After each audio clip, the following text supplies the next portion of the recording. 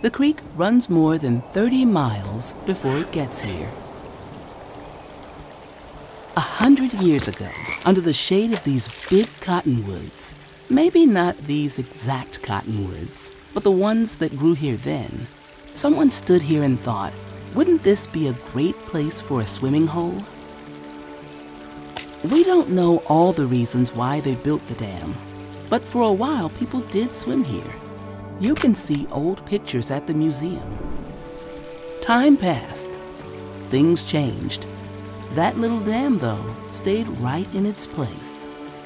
Here's the thing when those folks built it, they didn't know that a creek only works when it flows freely. The little dam stopped so much more than water. It kept almost all the fish from getting to the cooler places upstream. Steelhead, lamprey, and young salmon couldn't reach their spawning grounds higher up on the creek. At the same time, the dam kept rocks and branches from flowing downstream, so fewer gravel bars and wood tangles formed. Not enough stuff was left to help the creek spread out.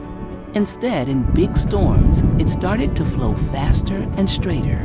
Its banks got steeper.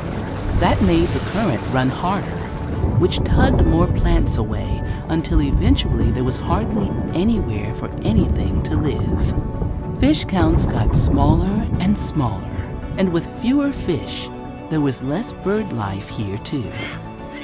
People saw what was happening though, and they spent years making plans. When the land came up for sale, local partners were ready to buy it.